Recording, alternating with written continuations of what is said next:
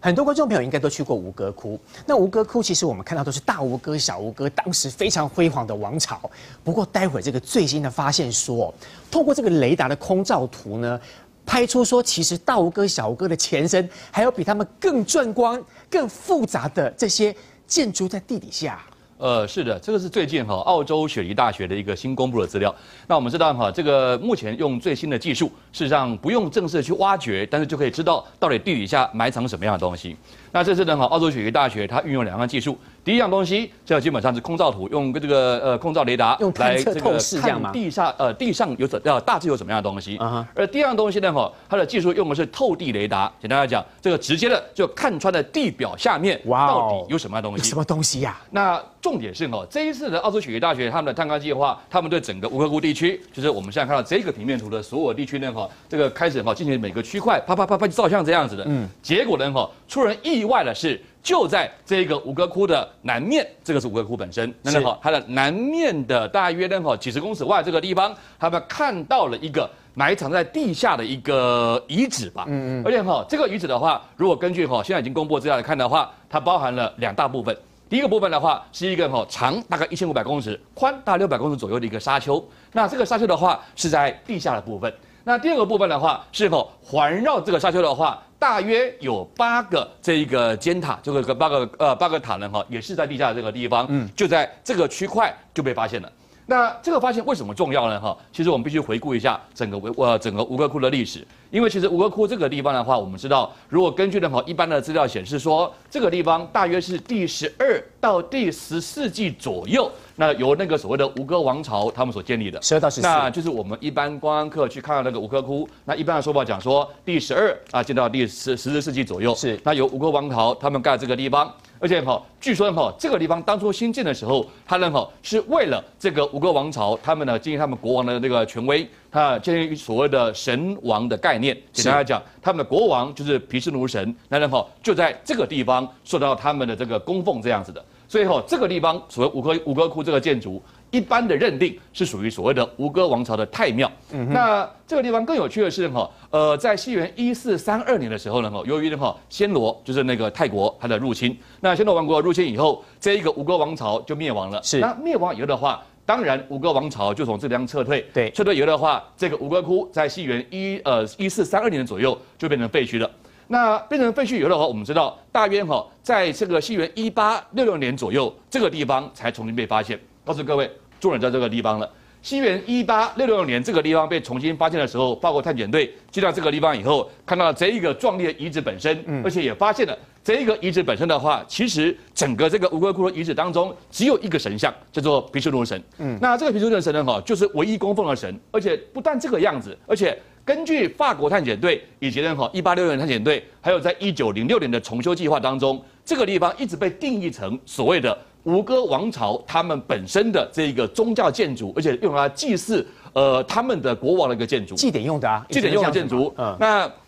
整个这个区块里面的话，根据人哈这个探险队的说法以及修复队的说法，讲说这个地方就是只有所谓的国王啦、祭司啦、贵族啦才能进这个地方。对简单来讲，像你啦、像我这种老百姓是进不去的。当然除了赖老师以外我们，都在那个护城河的外围呀、呃，对不对？它有一个护城河围住要进来。朝贡的嘛。整个区块当中的话，只有贵族才能进去。在里面啊那过去的一一呃一向这样认定。可是哈，这一次的这一个由澳洲这个雪梨大学这个计划，他们哈根据从这个地方的中心点周边地区哈一一去拍照，一一用透地雷达来检视以后，发现说其实真相可能未必如同西元一八六六年的时候，呃他们的这个说法，这个探勘队的说法，为什么呢？因为第一个。这个吴哥窟它本身的话，它第一个你看到没有？我们这个平面图来看，它的环绕的这个四四面这个由这个护城河这个包围住了，附近还有很多的水道，还有这个在附近。嗯，那这个地方哈，其实是一个沼泽区，其实这整个吴哥窟是建在沼沼泽地上面的。那据说哈，当年在建的时候的话，是先把那个地先刨开了以后，然后呢把土全部去掉，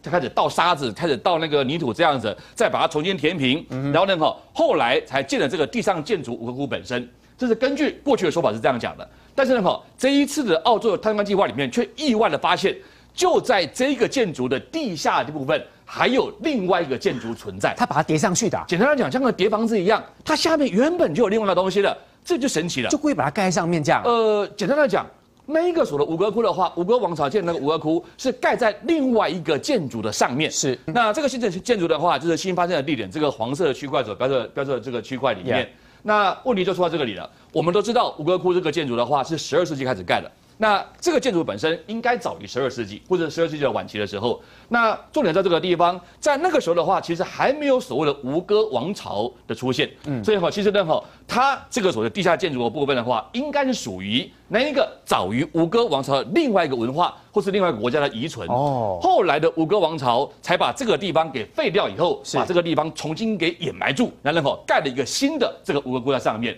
所以它的意义就在这个地方，为什么呢？因为这是个大发现。因为过去我们从来不知道说，原来这一个所谓的大名鼎鼎的世界文化遗址的下面还有另外一个，所以哈，有点像是大饼包小饼一样。嗯，古迹的下面还有另外一个古迹，更大的古迹。那这个古迹的话，目前为止没有挖，为什么呢？因为我刚才讲了，这是澳洲雪梨大学他们利用最新的技术，利用透地雷达，还有哈空中这个考古技术，他们看到地下还有东西。那这次的挖掘的话，可能还要等到人哈当地政府所允许之后，开始挖以后，才会知道地下究竟有什么东西。而且哈，就在这个探勘过程当中，他们也意外发现说，我刚刚讲了。过去五哥窟一直被认为说只住了祭司啦、什么贵族啦才能进这个地方，后来发现哈，其实不是这个样子的。哦，为什么呢？除了赖老师可以进去之外，我们都可以进去了。哦，就是那哈，除了一般老呃一般老百姓那什么种级的种族阶级的问题了，这个阶阶级啦，这个等级之分的。为什么呢？因为就在这个吴哥窟的周边地区里面，嗯，他们发现什么知道吗？在透地雷达里面看到所谓的水池啦、居住区啦，一些哈跟生活化相关的遗址。呀，而这个部分很重要的，为什么呢？因为它证实了说，其实这个地方